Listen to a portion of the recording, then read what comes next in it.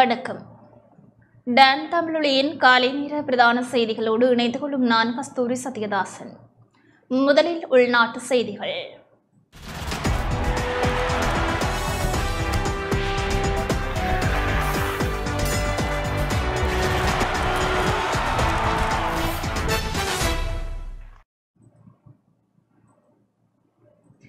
தேர்தல்கள் ஆணைக்குழு உறுப்பினர்களின் பாதுகாப்பை உறுதிப்படுத்த கோரி ஆணைக்குழுவின் தலைவர் ஜனாதிபதிக்கு கடிதம் அனுப்பியுள்ளார்.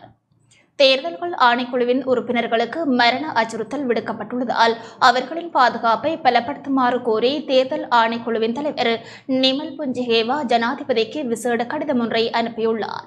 தேர்தலுக்கான சரியான சூழலை உருவாக்கும் அதிகாரம் ஜனாதிபதிக்கு இருப்பதனால் இந்த கடிதம் அனுப்பப்பட்டுள்ளதாக அவர் குறிப்பிட்டுள்ளார். அத்துடன் உள்ளூராட்சி சபை தேர்தலுக்கு சில நிறுவனங்களின் ஆதரவு மந்தகதியில் காணப்படுவதாகவும் நிமல் புஞ்சிகேவா தெரிவித்துள்ளார்.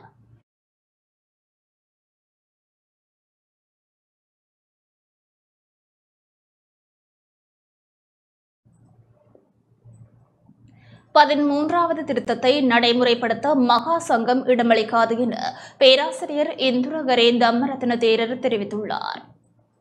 பதிமூன்றாவது அரசமைப்பு திருத்தத்தை முழுமையாக நடைமுறைப்படுத்த மகா சங்கம் ஒருபோதும் இடமளிக்காது என கழனி பல்கலைக்கழகத்தின் மூத்த விரிவுரையாளரும் பேராசிரியருமாகிய பூஜ்ய இந்துரகரே தம்மரத்ன தேரர் தெரிவித்துள்ளார்.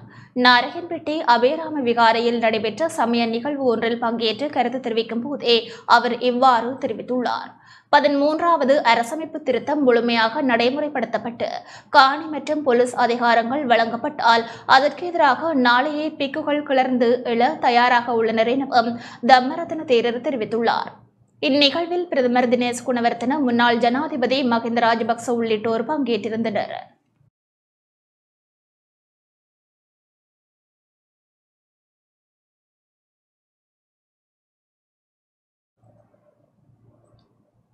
படகையும் வீணையையும் மக்கள் முற்றுமுழுதாக துரத்திவிட வேண்டும் என பாராளுமன்ற உறுப்பினர் எம். ஏ. சுமந்திரன் தெரிவித்துள்ளார்.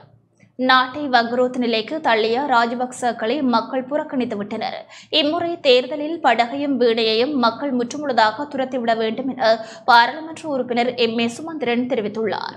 வடமராட்சியில் இடம்பெற்ற நிகழ்வு ஒன்றின் பின்னர் ஊடகங்களிடம் அவர் இவ்வாறு தெரிவித்துள்ளார்.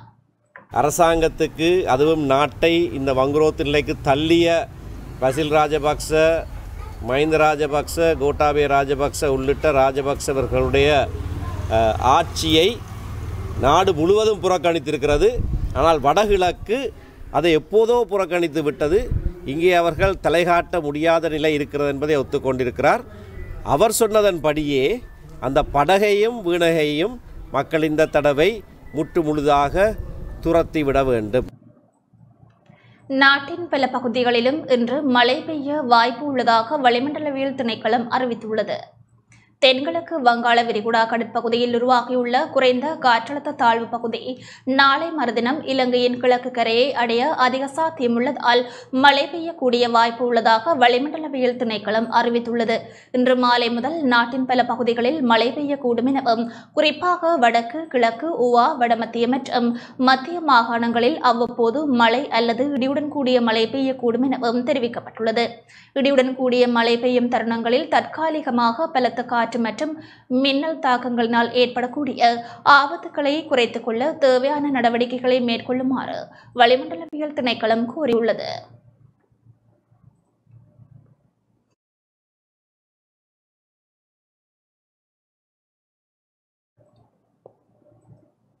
யாழ்ப்பாணம் சாவகச்சேரி பிரதேசத்தில் இடம்பெற்ற விபத்தில் இளைஞர் ஒருவர் உயிரிழந்துள்ளார். யாழ்ப்பாணம் சாவகச்சேரி சங்கத்தானையில் இடம்பெற்ற வாகன விபத்தில் இளைஞர் ஒருவர் சம்பவ இடத்திலேயே உயிரிழந்துள்ளார். இந்த சம்பவம் நேற்று மாலை இடம்பெற்றுள்ளது. வீதியை கடக்க முற்பட்ட மோட்டார் சைக்கிளுடன் பிரிதொரு மோட்டார் சைக்கிள் மோதியதிலேயே விபத்து நேர்ந்துள்ளது. சம்பவத்தில் சாவகச்சேரி சங்கத்தானையை சேர்ந்த இருபத்தி ஏழு வயதுடைய சண்முகலிங்கம் பிரகாஷ் என்ற இளைஞர் உயிரிழந்துள்ளார். சம்பவம் தொடர்பான மேலதிக விசாரணைகளை சாவகச்சேரி போலீசார் மேற்கொண்டு வருகின்றனர்.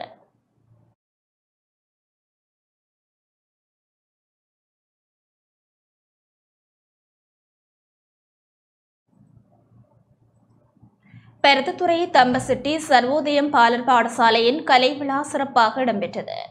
யாழ்ப்பாணம் பெருத்தத்துறை தம்பசெட்டி சர்வோதயம் பாலர் பாடசாலையின் கலை விழாவும் பரிசில் வழங்கும் நிகழ்வும் நேற்று இடம்பெற்றது. இந்நிகழ்விற்கு பிரதம விருந்தினராக நாடாளுமன்ற உறுப்பினர் எம். ஏ. சுமந்திரன் கலந்து கொண்டார். இதன்போது சிறுவர்களின் பல்வேறு கலை நிகழ்வுகள் இடம்பெற்றதுடன் சிறுவர்களுக்கு பரிசில்களும் வழங்கப்பட்டன. ஒரு சமூகமாக நாங்கள் மேலெழுந்து வர வேண்டுமாக இருந்தால் கல்வி முக்கியம் என்று நாங்கள் சொல்லுகிறோம். கல்வி என்பது பலவித ஆற்றல்களை திறம்பட உள்வாங்கிக் கொள்வது. அது பாடப்புத்தகத்திலே மட்டுமல்ல அது விளையாட்டுகளிலே இருக்கிறது கலை நிகழ்வுகளிலே மிக பெரிய அளவிலே இருக்கிறது. முழுமையான கல்வித்திறனை வளர்த்து கொள்ளுகிற செயற்பாட்டிலே நாங்கள் தொடர்ச்சியாக ஈடுபட வேண்டும்.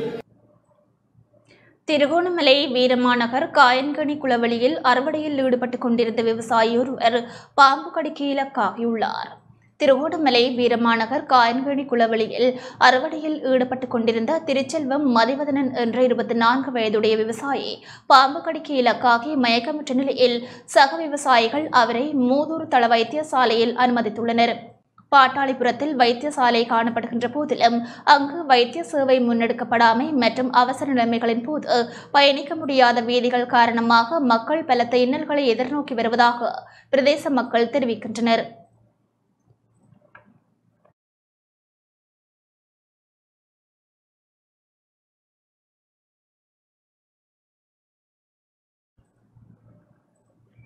இலங்கை தமிழரசு கட்சியின் மட்டக்களப்பு பட்டிருப்பு தேர்தல் தொகுதிக்கான பிரசார கூட்டம் நேற்று இடம்பெற்றது.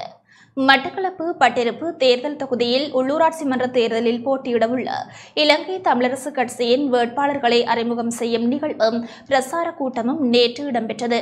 இலங்கை தமிழரசு கட்சியின் மட்டக்களப்பு பட்டிருப்பு தொகுதி கிளையின் செயலாளர் துசிநந்தன் தலைமையில் நடைபெற்ற வேட்பாளர் அறிமுகமும் பிரசார கூட்டத்திலும் மட்டக்களப்பு மாவட்ட பாராளுமன்ற உறுப்பினர் இரா சாணக்கியன் முன்னாள் பாராளுமன்ற உறுப்பினர்களாகிய ப அரியநேத்திரன் ஞா என் சி யோகேஸ்வரன் உட்பட பலர் கலந்து கொண்டனர்.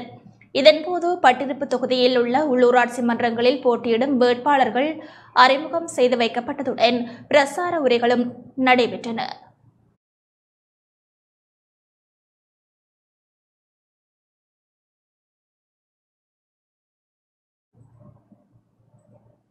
தமிழ் தேசிய கூட்டமைப்பின் வலிகாமம் வடக்கு பிரதேச சபைக்கான வேட்பாளர் அறிமுக கூட்டம் நேற்று இடம்பெற்றது. தமிழ் தேசிய கூட்டமைப்பின் வலிகாமம் வடக்கு பிரதேச சபைக்கான வேட்பாளர் அறிமுக கூட்டம் யாழ்ப்பாணம் மல்லாகத்தில் நேற்று இடம்பெற்றது. பாராளுமன்ற உறுப்பினர் தர்மலிங்கம் சித்தார்த்தன் தலைமையில் இடம்பெற்ற நிகழ்வில் வலிகாமம் வடக்கு பிரதேச சபைக்கான வேட்பாளர்கள் மற்றும் பொதுமக்கள் கலந்து கொண்டார்கள். சொல்லப்படுகின்ற ஒரு விஷயம் ஒற்றுமையை நாங்கள் வரவேற்கின்றோம். ஒற்றுமைக்காகவே நாங்கள் நிற்போம் தமிழ் இனத்தினுடைய விடுதலைக்காக அர்ப்பணிப்புடன் செயற்பட்டிருக்கின்றார்களா? உண்மையிலே ஒற்றுமையாக செயற்பட வேண்டும் என்று விரும்புகிறார்களா? அல்லது வெறும் பதவிக்காக நிற்கின்றார்களா? இதுதான் கேள்வி. எங்களை பொறுத்தமட்டில் நாங்கள் பார்த்திருக்கின்றோம்.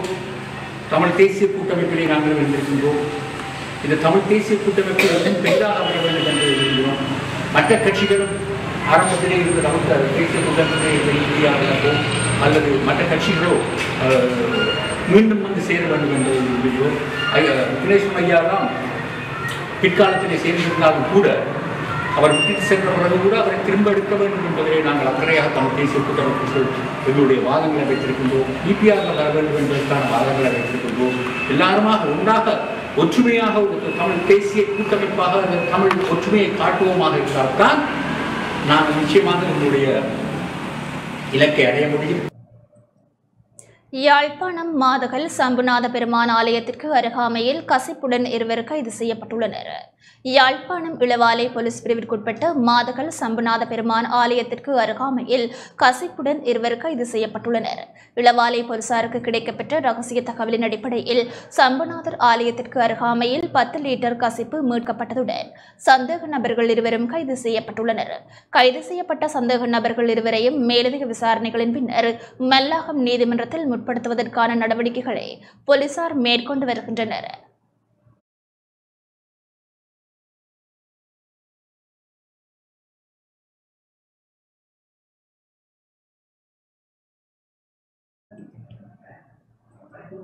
யாழ்ப்பாணத்தில் வீடொன்றுக்குள் வாள்களுடன் புகுந்து வீட்டில் உள்ளவர்களை அச்சுறுத்தி கொள்ளையடித்து தப்பித்த கும்பலைச் சேர்ந்த நால்வர் கைது செய்யப்பட்டுள்ளார்கள்.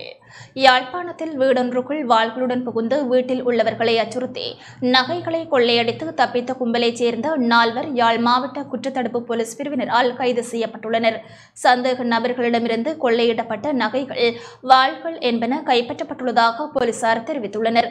யாழ்ப்பாணம் கோப்பாய் மூன்று கோயிலுக்கு அண்மையாக கடந்த ஜனவரி மாதம் மூன்றாம் தேதி அதிகாலை ஒன்று முப்பது மணிக்கு கொள்ளைச் சம்பவம் இடம்பெற்றுள்ளது. ஐந்து பேர் கொண்ட கும்பல் வாள்களுடன் வீட்டுக்குள் புகுந்து அங்குள்ளவர்களை அச்சுறுத்திவிட்டு பன்னிரண்டு தங்கப்பவுன் நகைகளை கொள்ளையிட்டு தப்பித்துள்ளனர். சம்பவம் தொடர்பில் கோப்பாய் போலீசில் முறைப்பாடு செய்யப்பட்டது. அது தொடர்பில் யாழ்ப்பாண பிராந்திய மூத்த போலீஸ் அத்தியட்சகரின் கீழான போலீஸ் பரிசோதகர் மேனன் தலைமையிலான யாழ் மாவட்ட குற்றத்தடுப்பு போலீசார் விசாரணைகளை முன்னெடுத்திருந்தனர். விசாரணைகளில் சுன்னாகம் இடிவில் பகுதிகளைச் சேர்ந்த இருபத்தி ஐந்து இருபத்தி ஆறு வயதுகளையுடைய நால்வர் நேற்று முன்தினம் கைது செய்யப்பட்டுள்ளனர். சந்தேக நபர்களிடம் கொள்ளையிட்ட நகைகளில் ஒரு பகுதியை அடக்கு வைக்கப்பட்ட நிலையில் பற்றுச்சீட்டுகள் மற்றும் வாள்கள் என்பன கைப்பற்றப்பட்டுள்ளன.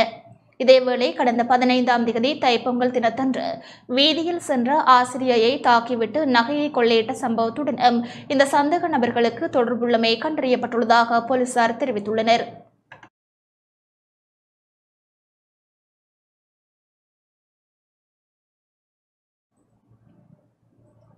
நுவெர்லியா பொகவந்தலாவு பொகவான கிசல் கமுவ ஓயாவிலிருந்து ஆணின் சடலம் மீட்கப்பட்டுள்ளது.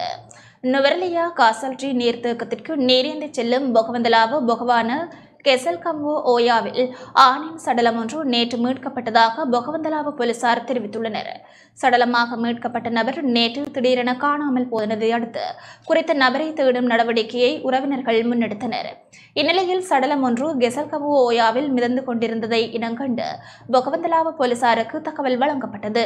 தொடர்ந்து போலீசார் சம்பவ இடத்திற்கு சென்று உயிரிழந்த நபரின் பாதனைகள் குடை மாதாந்த வைத்திய பரிசோதனை மற்றும் குறிப்பு புத்தகம் என்பன மீட்கப்பட்டன.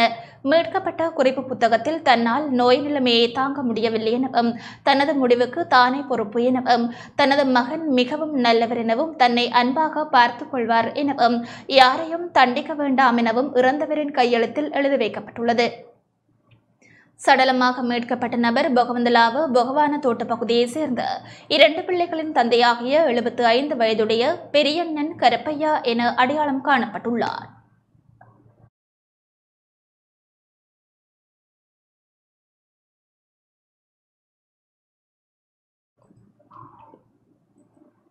அம்பாறை மற்றும் திருகோணமலை மாவட்டங்களைச் சேர்ந்த ஊடகவியலாளர்களுக்கான நான்கு நாள் பதிவிட பயிற்சி செயலமர்வு கொழும்பில் இடம்பெறுகின்றது.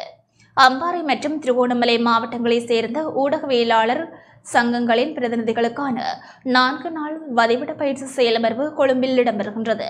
ஜனநாயக இலங்கைக்காக ஊடகங்களை வலுப்படுத்தும் நிகழ்ச்சி திட்டத்தின் கீழ் யுஎஸ்ஐடி நிறுவனத்தின் நிதி பங்களிப்போடு ஜெரிக்ஸ் என அழைக்கப்படும் சர்வதேச ஆராய்ச்சி மற்றும் பரிமாற்ற சபையின் ஏற்பாட்டில் இடம்பெறும் இப்பயிற்சி செயலமர்வில் அம்பாறை மற்றும் திருகோணமலை ஆகிய இரு மாவட்டங்களையும் சேர்ந்த மூன்று ஊடக சங்கங்களின் பிரதிநிதிகள் பங்கேற்றுள்ளனர்.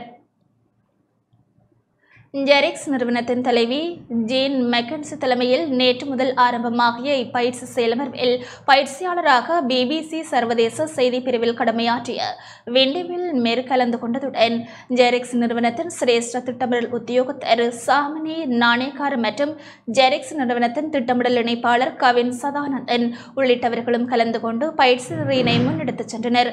சமூக மற்றும் பொருளாதார அபிவிருத்தி சூழலில் மக்களின் வாழ்க்கையை பாதிக்கும் கொள்கைகள் சட்டங்கள் விதிமுறைகள் வளங்கள் விநியோகம் அல்லது ஏனைய தீர்மானங்களை உருவாக்குதல் அல்லது மாற்றுதல் மற்றும் அத்தகைய தீர்மானங்கள் செயற்படுவதை உறுதி செய்தல் உள்ளிட்ட காரணங்களை மையமாக வைத்து பரப்புரையினை உருவாக்கும் பயிற்சியாகவே இச்செயலமர்வு இடம்பெற்று வருகின்றது.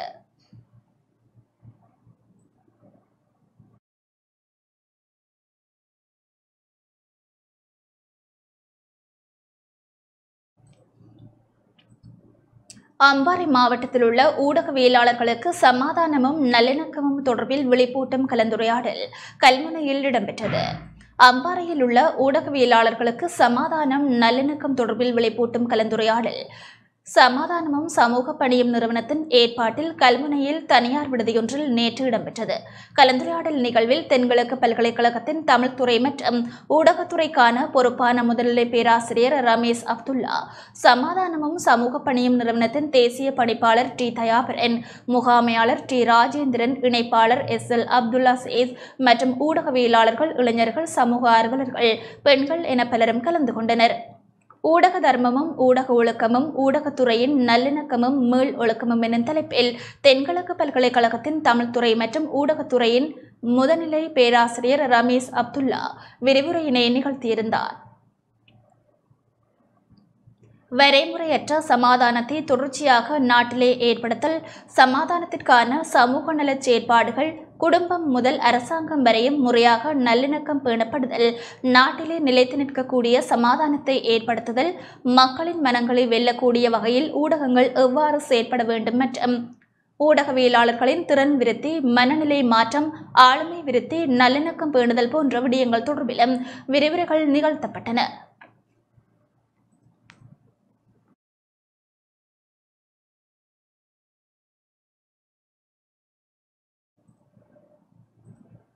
எழுபத்தி ஐந்தாவது சுதந்திர தினத்தினை முன்னிட்டு கல்முனை சமுர்த்தி வங்கி வலயங்களில் நேற்று சிரமதானம் முன்னெடுக்கப்பட்டது. எழுபத்தி ஐந்தாவது சுதந்திர தினத்தினை முன்னிட்டு சமுர்த்தி அபிவிருத்தி திணைக்களத்தின் பணிப்புரைக்கு அமைய வீட்டினையும் நாட்டினையும் சுத்தமாக்குவோம் என்னும் கருப்பொருளில் கல்முனை சமுர்த்தி வங்கி வலயங்களில் நேற்று மாபெரும் சிரமதான நிகழ்வுகள் இடம்பெற்றன.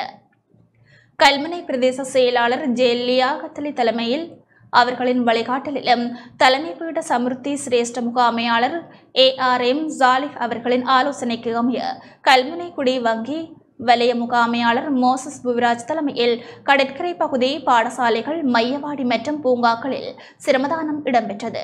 நிகழ்வில் சமுர்த்தி பயனாளி குடும்பங்கள் மற்றும் நலன் விரும்பிகள் என பலரும் தங்களது பங்களிப்பினை வழங்கி சிரமதான பணியில் ஈடுபட்டனர். ஒவ்வொரு கிராம சேவகர் பிரிவுகளிலும் வழிநடத்துவோர்களாக சமுர்த்தி உத்தியோகத்தர்கள் கிராம சேவையாளர்கள் பொருளாதார அபிவிருத்தி உத்தியோகத்தர்கள் மற்றும் கல்மனைக்குடி சமுர்த்தி வங்கியின் கட்டுப்பாட்டு சபை உறுப்பினர்கள் என பலரும் கலந்து கொண்டு சிரமதானத்தில் ஈடுபட்டிருந்தனர்.